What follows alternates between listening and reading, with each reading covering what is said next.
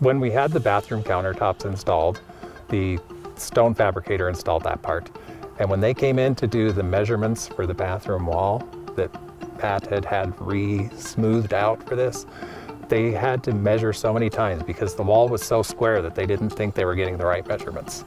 And they were not used to a wall that was so flat and square. We discovered Beckman Builds and Matt through another project we were working on. Um, we had some custom cabinetry built and Matt came in to help his friend and colleague and I was extremely impressed with the speed and accuracy that he installed our cabinetry for our bookshelf and I happened to just reach out to him and say, what other projects can you help us out with? And that led to our first phase of remodeling. What makes uh, Beckman Builds different is our attention to detail. We care about the craftsmanship, uh, we're intentional about the craftsmanship. It brings us joy. Uh, I love the fine details because that's what makes a place feel elegant and special when you walk into a place and lines are all perfect and paint lines are perfect and the cabinets are all perfect. All the knobs are just straight and level and just that, that stuff shines. Particularly in the bathroom, I had a very particular need for a very specific valve for the sink and for the shower.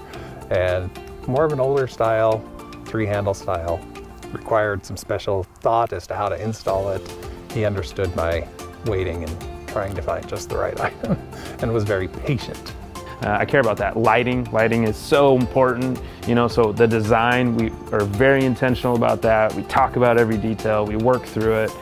Matt has finished everything to the utmost of standards very, very careful with the details. We believe in quality over quantity, and so we are willing to pay a little bit of extra to have something that's going to last and be beautiful through all the different phases of interior design, and that's what we loved about Matt. He brought that to the table, and he has excellent workers and contractors that came in, and it's just been an outstanding process.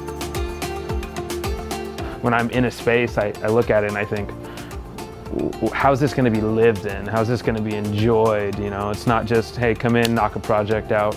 It's, it's about the relationships. It's about the relationships that are going to be built in this space that we're going to build. That's what, that's what makes this different. We care. We, we care about the people that we're working with.